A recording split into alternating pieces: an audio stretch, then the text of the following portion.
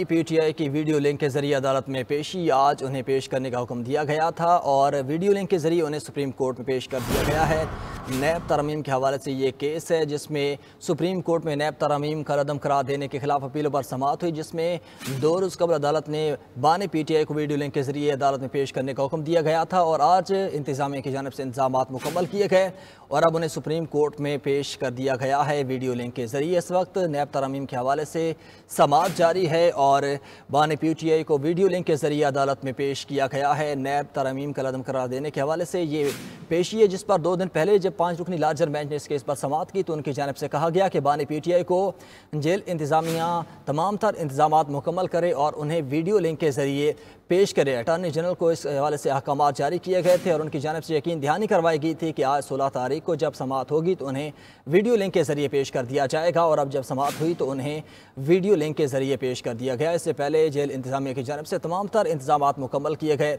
और आज पाँच रुकनी लार्जर बेंच सुप्रीम कोर्ट में नैब तरामीम का लदम करा देने के हवाले से जो अपीलें हैं उन पर समाप्त कर रहा है और बान पी टी आई को वीडियो लिंक के ज़रिए अदालत में पेश कर दिया गया है और इस वक्त समाप्त जारी है। Justice, chief justice Qazi Faez Isa की सरबराही में पाँच रुकनी लार्जर बेंच इस वक्त समाप्त कर रहा है। समात दिखाने का फैसला, पाँच रुकनी बेंच करेगा। आपको बताएँ, सुप्रीम कोर्ट में नया तरमीम का कदम करा देने के खिलाफ अपील पर समात हो रही है। तफसीत बताएँगे हमारे नुमाइंदा फ़हीम अख्तर हमारे साथ मौजूद है। फ़हीम बताएगा समात शुरू हो चुकी है। जी, बिल्कुल, सुप्रीम कोर्ट ऑफ़ पाकिस्तान ने इस वक्त जो नैब तरामीम का कदम करार देने के खिलाफ हुक्म की अपीलें हैं। उनके ऊपर जो समात है वो जारी है कि justice of Pakistan, justice Qazi Faez Isa की सरबराही में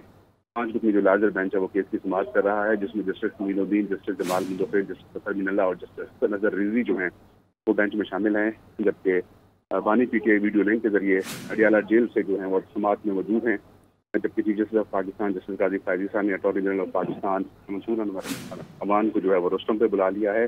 और अटॉर्नी जनरल इस वक्त अदालत के सामने पेश हैं, जबकि हुकूमती वकील जो है, वो मखदूम अली खान भी रोस्टम पर आ गए हैं, और समाज का सिलसिला बाजाबा तौर पर शुरू हो चुका है। और आज हुकूमती की जानब से जो है वो दलाइल पेश किए जाएँगे। जबकि गुजशत समाज पर बानी जी को पेश में हुक्म दिया गया था और तमाम वीडियो लिंक इंतज़ाम करने की हिदायत की गई थी। तो अब जो बानी पी टी आई हैं, भी इस वक्त अदालत में मौजूद हैं और उन्होंने जो है वो स्काई ब्लू कलर की शर्ट पहन रखी है और के ज़रिए पी टी आई इस वक्त समाज में मौजूद हैं। जबकि चीफ ऑफ़ पाकिस्तान ने अटॉर्नी जनरल से इस्तार भी किया, कि क्या जो वीडियो लिंक है वो चल रहा है? तो अटॉर्नी जनरल ने कहा कि जी, बिल्कुल वीडियो लिंक ऑन है और जो वफाकी हुकूमत के वकील है, मखदूम अली खान, वो दलाइल देने के लिए इस पर वक्त रोस्टम पर आ गए हैं और उनके दलाइल जो है वो अब शुरू होंगे देर अच्छा फ़हीम, ये बताइएगा, गुजशत समात बरह रास्त दिखाएगी तो आज बरह रास्त दिखाने के हवाले से कोई फैसला ना किया गया? देखिए जो जितनी भी समातें होती हैं, जो भी पाकिस्तान सरबराही करते हैं उनकी समातें जो हैं वो लाइव स्ट्रीम होती हैं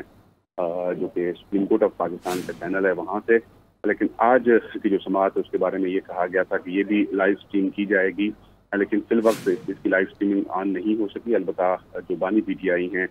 वो वीडियो लिंक के ज़रिए इस वक्त जो है वो अदालत में पेश हैं और वो अदालत में मौजूद हैं। अडियाला जेल में क्योंकि वो मौजूद हैं तहम वो वीडियो लिंक के ज़रिए यहाँ पर शरीक हैं। तो हो सकता है कि बानी पी टी आई की शिरकत की वजह से जो है वो लाइव स्ट्रीम ना किया जा रहा हो ताहम समाज इस वक्त जारी है और जो हुकूमती या वफाक के जो वकील हैं, मखदूम अली खान, वो इस वक्त रोस्टम के ऊपर मौजूद हैं और वो अब अब कुछ देर बाद बाजा दलाल का जो है आगाज़ करेंगे। अच्छा फेम ये भी बताइएगा, तहरीक इंसाफ के दीगर कौन कौन से रहनमा इस वक्त अदालत में मौजूद हैं? देखिए, तहरीक इंसाफ के तकरीबन तमाम जो रहनुमा हैं, वो इस वक्त अदालत के अंदर मौजूद हैं जिनमें बानी पीटीआई की जो बहनें हैं वो वो भी इस वक्त अदालत के अंदर मौजूद हैं, वो सुप्रीम कोर्ट के अंदर आज कुछ देर कुछ देर पहले वो भी आई थी। इसके अलावा तहरीक इंसाफ के जो दीगर रहनुमा हैं, जिनमें फैसल जवेद हूँ सेनेट ऑफ़ पाकिस्तान में जो अपोजिशन लीडर हैं शिबली फराज, इसके अलावा सबक deputy chairman senate Mirza Afridi, वो भी इस वक्त सुप्रीम कोर्ट ऑफ़ पाकिस्तान में मौजूद हैं। अली मोहम्मद खान समेत बाबा रवान और जो दीगर पी टी आई के रहनुमा हैं वो भी इस वक्त मौजूद हैं। और जब वो सुप्रीम कोर्ट ऑफ़ पाकिस्तान में आ रहे थे तो उनसे जब सवाल किया गया कि क्या आज लाइव स्ट्रीमिंग होगी इस केस की समाप्त की तो शिबली फराज की जानब से कहा गया कि इंशाल्लाह उम्मीद तो है कि इतने हाई लेवल से अगर आर्डर हैं तो फिर हो सकता है कि ये सब कुछ लाइव हूँ।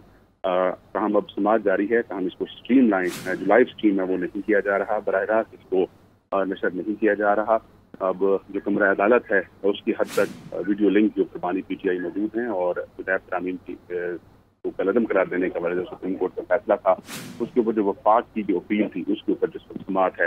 वो जारी है और पाँच रुकनी जो सुप्रीम कोर्ट ऑफ़ पाकिस्तान का लार्जर बेंच है। अच्छा फहीम ये बताइएगा इस वक्त रोस्टम पर कौन मौजूद है और किन की जानब से इस वक्त दलाल दिए जा रहे हैं? सबसे पहले दलाल का आगाज़ किसने किया? देखें कि जैसे पाकिस्तान, जैसे काजी पाकिस्तान है, जो वफाक के वफाक के वकील हैं मखदूम अली खान, उनको उन्होंने रोस्टम पर बुलाया और मखदूम अली खान ने अब दलाइल का जो है वो आगाज़ कर दिया है। क्योंकि ये अपीलें जो हैं वफाक की जानब से दायर की गई थी, क्योंकि सुप्रीम कोर्ट ऑफ़ पाकिस्तान ने नैब तमीम को कलदम करार दिया था तो उसके खिलाफ ये अपीलें दायर की गई थी। तो पाँच रुकनी जो लार्जर बेंच है, वो बनाया गया था तो अब वफाक की जाने से पहले उनको सुना जाएगा। गुजशत समाज के के दौरान जो है वो जस्टिस अतर मिनला की जानब से जब पी टी आई जो मरकजी दरख्वास्त गुजार थी और बानी पी टी आई इसके दरख्वास्त गुजार थे तो उन उन, उनकी दरख्वास्त थी कि बानी पी टी आई को भी यहाँ पर पेश होकर दलाल देने का जो मौका फराम